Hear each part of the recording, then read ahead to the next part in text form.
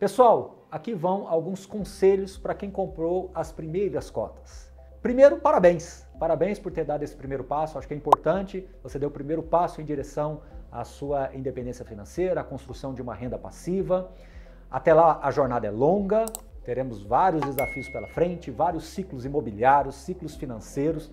Então esteja preparado para passar por tudo isso. É muito importante entender que isso faz parte do dia a dia do investidor de longo prazo. Então, se mantenha focado nessa premissa número zero, que é foco previdenciário, tá bom?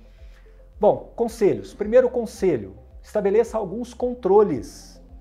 Eu acho que você é, vai começar a fazer compras de diversos fundos, de diversos setores. Então é bom que você tenha algum controle. Hoje tem vários aplicativos que ajudam nisso, várias ferramentas das próprias corretoras que ajudam nisso, mas você também pode ter o seu próprio controle interno, né, com uma planilha, com algumas anotações, alguma coisa simples, mas que seja funcional, que esteja claro para você, porque essa planilha vai te dar referências importantes, né, com base no, no, no preço que você está formando do seu patrimônio, qual que seria o retorno né, com base nesse custo. Então é muito importante que esses controles internos sejam feitos desde o começo. Segundo conselho, todo final de ano, procure ver quanto que você construiu de patrimônio, quanto que você está gerando de renda passiva e faça ali um, uma, uma anualização para que você possa, ao longo do tempo, acompanhar o seu crescimento patrimonial e também o seu crescimento de renda passiva.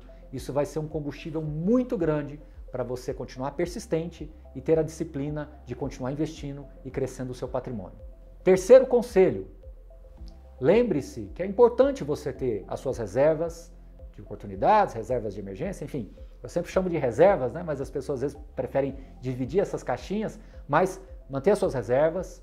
Procure estudar também outras alternativas de investimento para que você se convença que são importantes para você ou se convença que não são importantes para você. Os fundos imobiliários, eles são investimentos alternativos que podem ou não ser sua preferência assim para o longo prazo e para exposição dentro da sua carteira. Então, você comprou as primeiras cotas, entenda que você precisa estabelecer também critérios de diversificação, mesmo que seja uma diversificação interna em fundos imobiliários, mas que você precisa estabelecer algumas condições para os seus investimentos.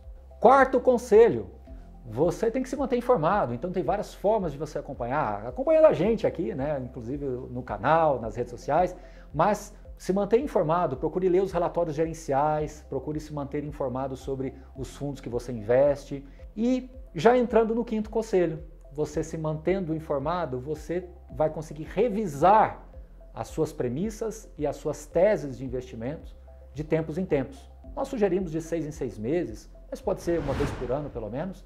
Mas você só vai conseguir revisar sua carteira se você tiver com o conselho 4 preenchido, ou seja, se mantendo informado. Tá joia? Espero ter ajudado. Quero lembrar a todos vocês mais uma vez, tem na descrição do vídeo aqui vários recadinhos da Suno. Dê aquele joinha, deixe o seu comentário, compartilhe o vídeo com os amigos, assine o canal e até a próxima. Valeu!